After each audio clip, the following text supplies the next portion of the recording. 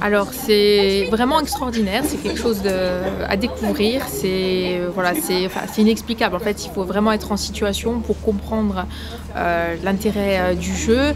C'est prenant, voilà, c'est véritablement prenant et je pense que personne ne peut rester indifférent à un tel jeu. Enfin, on est vraiment dans, l'émotion parce que c'est quelque chose qui en fait demande une grande concentration, une grande rapidité, une grande agilité aussi intellectuelle et même physique. Allez, moi je, je le conseille, c'est à faire, voilà, c'est à faire.